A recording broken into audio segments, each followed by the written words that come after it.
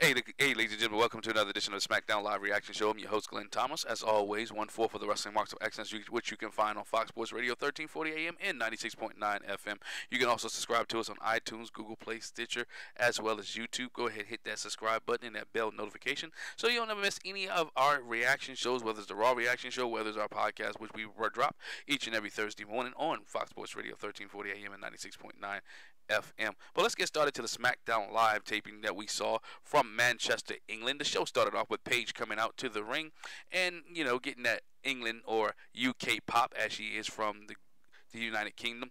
Uh, and she calls out the World Cup winner, Shane McMahon, also the commissioner of WWE SmackDown. He comes out and talks about his World Cup uh, win. He talks about how, you know, he couldn't let The Miz go down and how he wanted the SmackDown brand to be very successful. And so he goes out there and wins the World Cup for the SmackDown brand.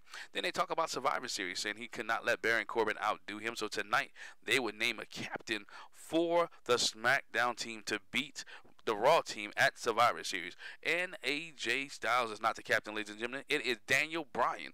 Daniel Bryan will be the captain of the SmackDown team as general manager, oh excuse me, commissioner Shane McMahon, and now former general manager DB as being the captain. But that was not it, ladies and gentlemen.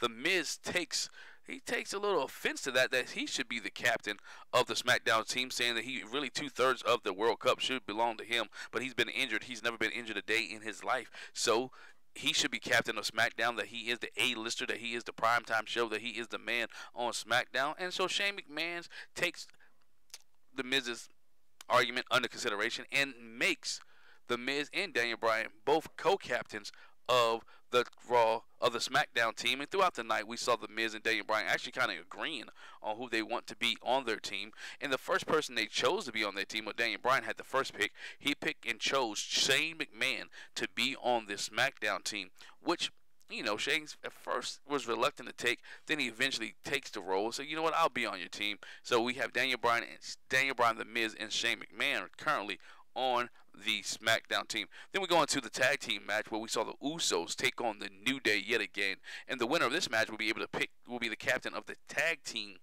tag team smack tag team team for the Survivor Series, which is kind of good. I'm glad to see WWE continue to do this because this goes back to the traditional Survivor Series where they had tag teams come together as a traditional Survivor Series match. At least they keep the uh, traditional Survivor Series role here uh, in this match, but we had the Usos taking on the New Day. Winner of the match are the Usos. Usos are your captains of the tag team team, and we have the Usos who chose the New Day, talking about, hey, you know what? We had battles up and down the road. We fought all over the country. We fought all over the world, and there'll be no other tag team on SmackDown that we'd rather have be as our partners, as except for you, the New Day. So you have on the tag team team right now. Representing SmackDown, you have Usos in the New Day. Be interested to see who else the New Day put on their team to take on the Raw Tag Team division later on.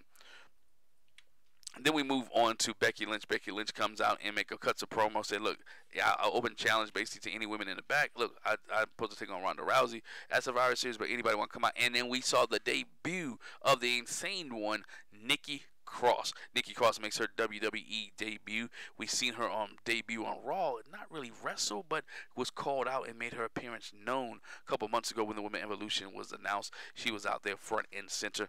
Been backstage for several months with the WWE, but this time she has an opportunity to take on Becky Lynch, the WWE SmackDown Women Champion, and this match right here lived up to the billing. That's why I like SmackDown. SmackDown give you matches that you want to see. Nikki Cross's days at NXT is over. We saw last time we saw Nikki Cross on NXT. She was telling Aleister Black who was the person to run him over or who to beat him up. But we saw Nikki Cross take on Becky Lynch. Becky Lynch, Nikki Cross gave Becky Lynch everything that she wanted in this match, but we got Becky Lynch get the win with the armor, and Becky Lynch still is your WWE Women's SmackDown Champion as she make Nikki Cross tap out. Very good match here. I definitely got to give this match a two thumbs up. Becky Lynch has developed even more and more as a heel, and as she said that she is the man because she beat the man to become the man. Well, she should have sure say I am the woman who beat the woman because I am the best woman. Whatever way it is, her t-shirt is kind of hot and hope she sells a lot of those. Then we go on to the match of the night. This match was a pay-per-view match all over the place. You, this match could have been, have been on crown jewel. This could be the WrestleMania match. Yes, Ian Almas uh, Andrade and almost taking on Rey Mysterio. This is a true luchador match. This is why SmackDown is, to, in my opinion, the better brand. Let me know what you think. Is best SmackDown matches are better than Raw or Raw better than SmackDown? In my opinion, SmackDown matches are better because they gave us matches like this, high flying lucha libre type style match, high, uh, back and forth technical skills. Rey Mysterio, the winner of this match, would be on the team. Would be on Team SmackDown. Uh, kind of because they kind of leery about Rey Mysterio. Said he hadn't really, the Miz said he hadn't really done anything since he's back, been back to SmackDown. That he lost a little bit, but Rey Mysterio taking on Cien Almas here uh, and get picks up the win nonetheless with a 619. Booyaka, Booyaka, 619 gets a 619 and picks up the pin over Cien. But that was not it, ladies and gentlemen, because after the match, out of nowhere, you know when we say out of nowhere who that takes place, RKO Randy Orton comes out of nowhere, nowhere, and RKO's Rey Mysterio in the ring. Goes all the way back to the Crown Jewel pay-per-view where Rey Mysterio got a surprise win over Randy Orton to eliminate him from the World Cup tournament. Uh, this feud will continue and probably go on maybe next week or the week after next after Survivor Series pay per view. Might see a match between these two guys at the TLC pay per view in December. Uh, but Rey Mysterio picks up the win. He is now on Team SmackDown. Randy Orton hits Rey Mysterio with the RKO. Then we move on to the announcement of the women. Eh, the women for the Survivor Series match. We have uh, Paige comes out and announces the uh, competitors that will be participating.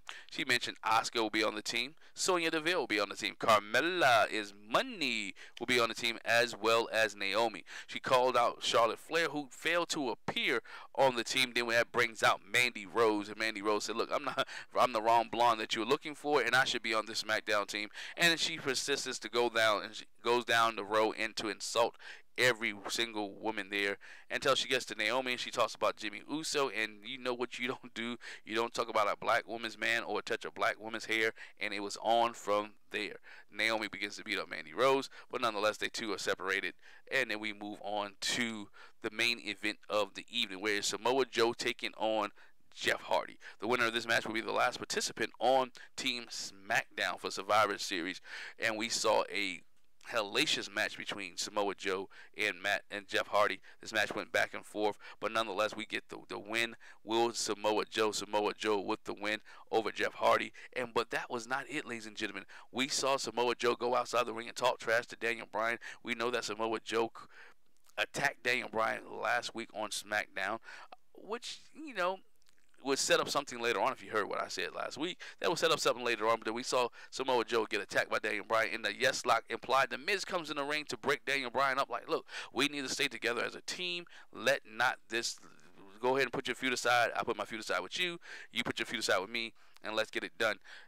Not, that that wasn't it. Daniel Bryan didn't want anything to do with that. He hip tosses the Miz, hits the Miz into the face. Then Shane McMahon comes out and try to stop Daniel Bryan. Daniel Bryan throws Shane McMahon over hip toss him as well. Daniel Bryan has upset almost everyone on his team as SmackDown is going on. He's tired, he's fed up, he's frustrated, and that's right. Daniel Bryan has attacked everyone. How will Team SmackDown survive heading into the Survivor Series? Will Team SmackDown be able to beat Team Raw at the Survivor Series? Only time will tell. SmackDown by far is the better show right now. The writing on the show, maybe because it's two hours, but they compact everything in this two hours to keep your emotions high. Great matches, great storylines.